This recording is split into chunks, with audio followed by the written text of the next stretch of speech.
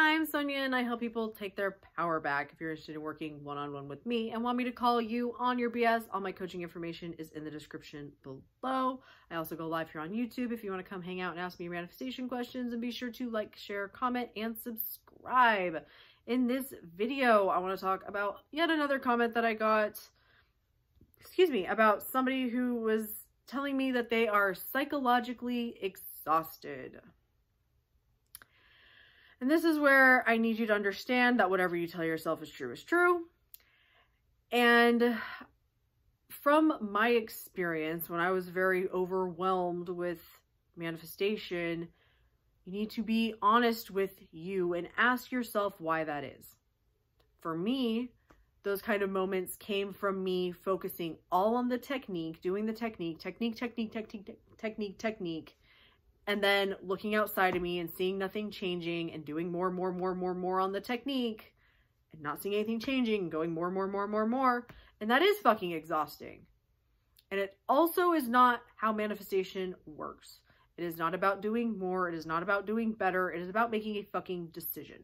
It's about making a choice and then coming back to it. If you are psychologically exhausted, you need to take a step back and look at what you are actually doing, what you actually believe, and how you are approaching your journey of manifestation.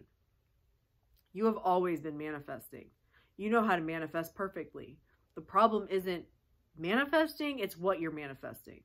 You think 24 7, 365. All you are doing is shifting your perspective and catching yourself and telling yourself that things are now the way you want them to be.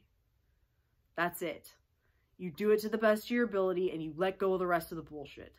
If you are psychologically exhausted, you need to figure out how much bullshit you're holding on to and how many rules you're having in place and how much you are spending your time looking for clues and seeing if shit's working instead of just doing what you need to do and being happy in the present moment, which is totally possible. You can manifest, not have what you want, and be happy in this moment.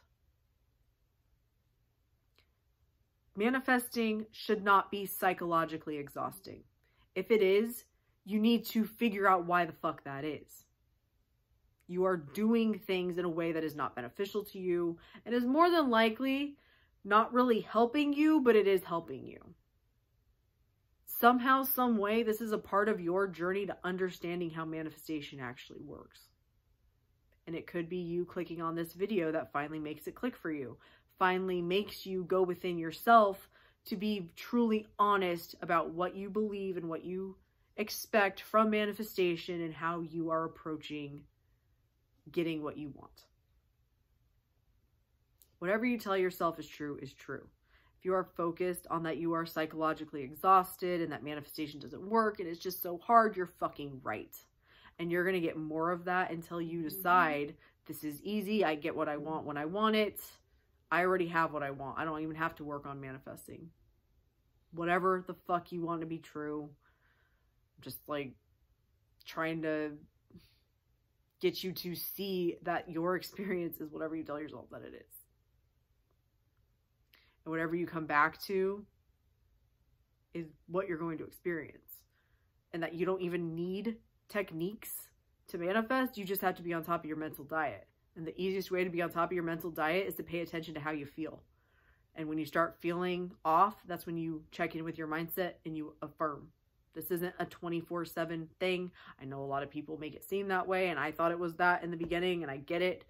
But if you are psychologically exhausted, you need to ask yourself why and you need to take your power back. You need to start doing what's going to work for you and start being very honest with yourself about what you believe. Because that is the only problem that you have is continuing to accept beliefs that you no longer want to be true. Thank you so much for watching. Love and light.